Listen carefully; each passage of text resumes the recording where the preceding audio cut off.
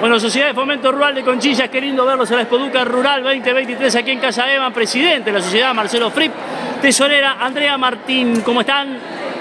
Buenas tardes Pedro, ¿cómo estás tú? Bien, cuéntenme, ¿qué, ¿de qué va esta actividad de promoción supongo, no?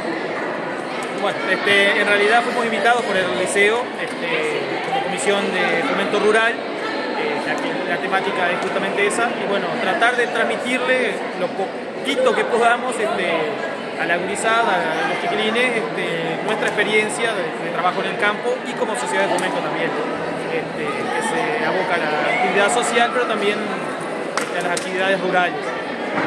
Vimos una charla en la mañana y esperemos que, que le, que haya aportado algo a algún niño, al menos.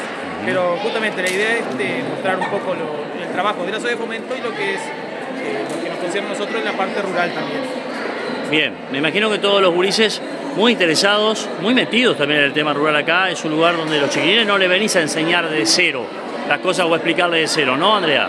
Sí, nosotros en realidad lo que quisimos fue un poco transmitir nuestra historia de vida también, ya sea como, en mi caso como profesional y como productora, en el caso de, Mario Moro también como profesional y como, como garbero, como caballero, en el caso de, Marcelo, su experiencia como empresa agrícola.